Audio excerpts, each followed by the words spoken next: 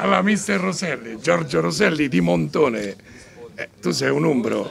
E qui stasera 0-0, ma sento i colleghi lì di San Benedetto che non sono contenti del pareggio, invece lei mister, me lo ricordo quando allenava il Pavia, Pavia Ternana 0-0 qualche anno fa, sempre in Serie C, si ricorda? Vabbè, la Ternana ha vinto il campionato. Eh, infatti che c'era Toscano nel 2012, però eh, come ha visto questa partita nel contesto generale per, per entrambe le squadre?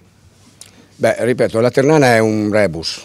Rebus no, rebus perché vedere questa squadra che ce la mette tutta a calciatori e allenatori, sono passati tre, di, di, ottimo livello, hanno come dicevo una tecnica tutti i calciatori che in questa categoria non ce l'ha quasi nessuno il Rebus è il campionato che sta facendo. Però io ho sempre detto che questa è una squadra che se si ritrova da un punto di vista di squadra, di, di, di, come si può dire, anche di qualche risultato, ai playoff sarebbe secondo me una delle squadre da battere. Certo, questo problema sta andando per le lunghe, dunque è normale, più va per le lunghe più il problema da, risolvere, da risolvere è più difficile. Su questo non ci piove, ma sulla qualità di questa squadra eh, non c'è dubbio che ce n'abbia tantissima. Per Asambe invece?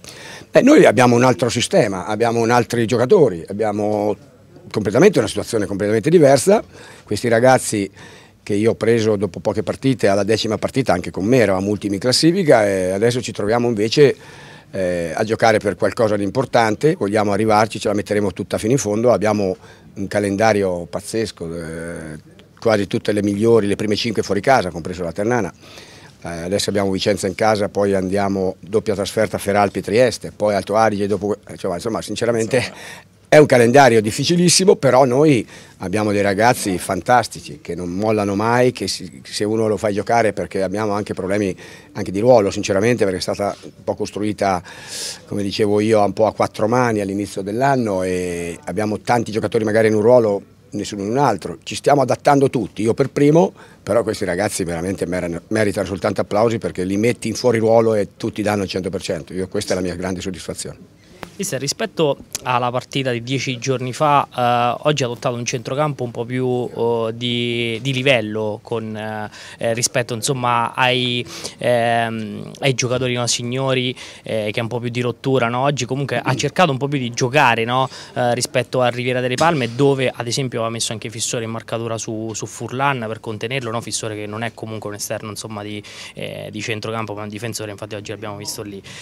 quindi Oggi un po' più viso aperto, è andata bene per i primi minuti con quel colpo di testa di stanco, poi che cosa è successo? Un pochettino eh, il baricentro un po' più basso della sua squadra, eh, è salita forse un po' più la Ternana? La Ternana eh, dopo è salita, noi eravamo un po' stanchi, onestamente abbiamo giocato a Pordenone con il viaggio era stato pesante, a 7 ore andare, 7 ore tornare, Fissore ha giocato lì perché la Ternana io mi aspettavo 4-2-3 e invece volevamo giocare 4-2-3-1 poi abbiamo spostato dietro Gelonese l'unico mancino che abbiamo che si adatta un po' perché il titolare è Cecchini nel ruolo di, di, di Fissore. Questo era uno degli arrangiamenti però Fissore che è un centrale qualche volta ha fatto il quarto si adatta a fare il quinto e gioca al meglio delle sue possibilità ripeto è il discorso che facevo prima eh, noi, non è solo quello che gioca un po' fuori ruolo ce ne sono anche altri è difficile, però ripeto, non abbiamo alternative. Questi sono i miei ragazzi che non mollano mai e che giocano i ruoli che non hanno mai fatto nella loro carriera. Fissore fa un po' di tutto perché poi a Pordenone ha replicato, se non erro, al gol di Cavazzi e quindi ha centrato il pareggio per la Sampe.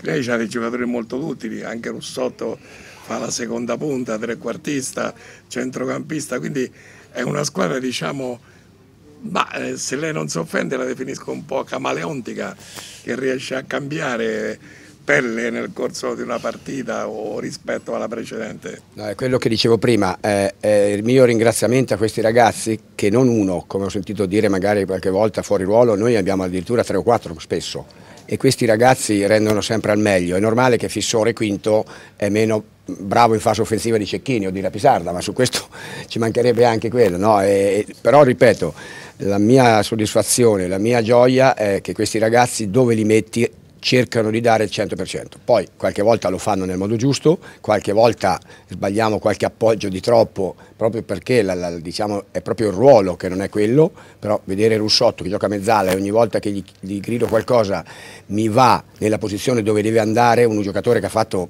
250 partite fra A, B, C, è una grandissima soddisfazione. Per il salto di qualità della sua squadra, la continuità del risultato? Sì, e poi riavere un po' tutti i giocatori a disposizione anche al 100% con i cambi giusti, qualche giocatore adattato ma non troppo e, e poi sono convinto che se noi centriamo questo obiettivo che era insperato, che per adesso ci dobbiamo credere pur avendo un calendario difficile, eh, possiamo essere fastidiosi perché è una squadra, ripeto, che dentro il campo dà tutto. Grazie mister, bocca al lupo.